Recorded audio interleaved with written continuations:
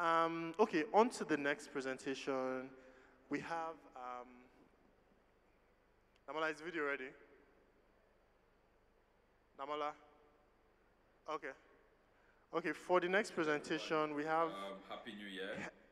Uh, saying it's Happy great New to Year. be part of the Techpoint Build event 2022 uh, virtually. I'm Alain Nteff.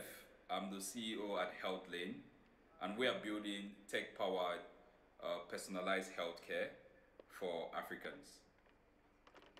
When Ifani reached out to me uh, to give a, a talk on the next frontier for healthcare in Africa, um, it's health technology, or health tech.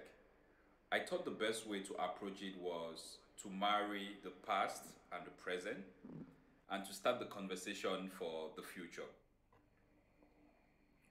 A bit of background um, today we are building um, Health which is simplifying how uh, we understand, we track, and improve our health.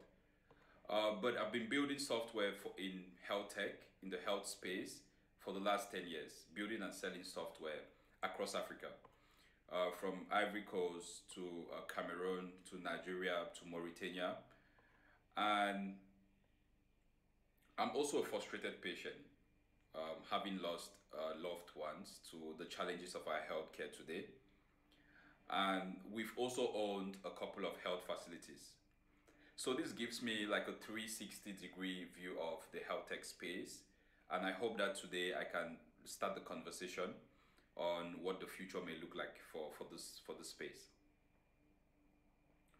First, let me start with the past. When we started in 2011, 2012, uh, the biggest innovations at that time was leveraging on SMS and USSD uh, to deliver healthcare and awareness. The most talked about startups at that time were building uh, products in maternal health. They were building products to uh, sensitize on malaria. Um, at that time, EHR was wasn't really big, so it was more of data collection. So we had forms. We were building forms on um, feature phones that could help health personnel collect data and transmit to like a central platform. Uh, this is just to name a few. There was no VC activity in the space in, in health tech. Uh, no one was funding health startups in 2011, 2012. Um, and when funding came, it usually came not from VCs, uh, but from development organizations. So the UN, WHO, the World Bank, and most of the times, even the development organizations used to be the competitors of the startups because they will bring funding, they will partner with the government, and they will even import technology like electronic health records. Then came 2015, 2016. Um, the, the cost of smartphones uh, went down, the cost of data went down, and uh, it opened a way to bring more sophisticated solutions to consumers. And this was really like the end for SMS and USSD. Moving to the present today, we are 2022. Uh, we are living in the post-COVID world. COVID has been the digital accelerator of the decade of the decade. Everything in healthcare is being digitalized. We are seeing companies digitalizing pharmacy.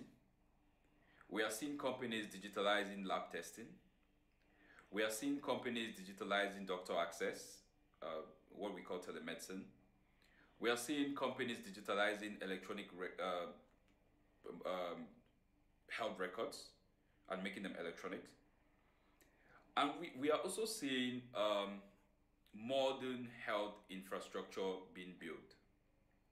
Uh, we have new hospitals today that are leveraging on uh, good technology and good customer service, and they are out to grab the opportunity that medical tourism presents today.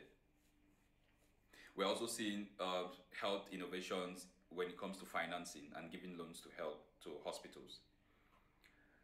Despite the fact that um, less than $100 million was invested in health tech um, across across Africa in 2021. Health tech today is where fintech was two or three years ago.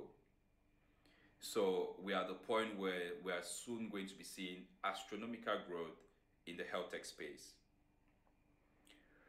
Talking about the future, um, I'm going to talk about five areas that I believe uh, there's going to be astronomical growth. We're going to see astronomical, astronomical growth this year, but also in the next one to two years. The first is personalized or lifestyle healthcare. Today, it's hard to live healthy. It's hard to eat well. It's hard to exercise regularly. It's hard to sleep right. It's even hard to access convenient and comprehensive testing, uh, health testing or health checkups. Our current environment today and our lifestyle today makes it difficult. And that's why we're seeing a rising, uh, we're seeing 60% rise in uh, chronic diseases like diabetes and hypertension. At HealthLane, this, this is one of the problems we're trying to solve. Today, we provide personalized healthcare. We're simplifying how people access comprehensive testing. We're simplifying how uh, you get a personalized care plan after your complete check. Uh, and our care plan is usually around nutrition, exercise, supplementing. Um, we believe if we're successful, then everyone is going to be living forever young, living longer, and living healthy. There is going to be, this is the future of healthcare, and we're going to see a lot more companies coming into the space. The second area is at home hospital. Uh, this is the next big step for telemedicine. Texting a doctor hasn't been the best way to get quality healthcare. And it's been the biggest challenge for telemedicine today. There, is there a future where 90, 90 95% of whatever happens in the hospital when you're sick can moves to the home, to the comfort of your home? there is that future exists. Theranos wanted to build that future. It didn't happen, uh, but we're, we're going to see a lot more companies um, come come in and move the hospital to the home. The third area is the growth of retail healthcare companies.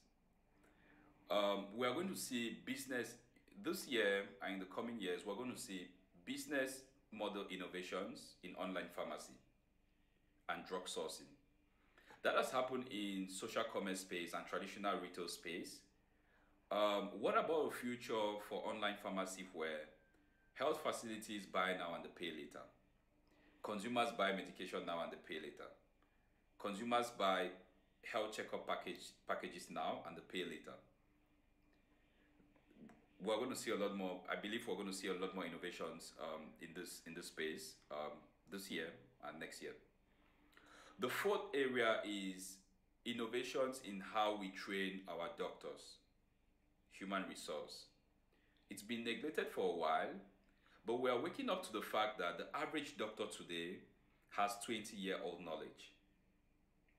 If you want to argue with this, ask the doctors around you what's their vitamin D level, which is huge for immunity. Um, today, we're going to see a future where um, a lot more companies are going to be simplifying how doctors are trained and how doctors upgrade their skills. The fifth area is around uh, new technologies. So this is really anything blockchain, metaverse, augmented reality, uh, Internet of Things, AI for drug discovery, innovations in clinical research, and even hardware for surgery or for any other medical procedure. The question is are these just buzzwords or are we going to see useful applications for Africa and for the world? The answer lies within all of us, all of you in the room, all of us at TechPoint uh, Build event this year. Um, and the challenge that um, we have is to go dream big, is to believe, and to take action. I hope this was a good conversational starter for the future of health and health tech and technology in the health space. And I can't wait to see what is going to be built this year and in the coming years. Thank you for your time and see you as we build. Thank you very much. Please clap for him. Um, we're just going to go to the next phase.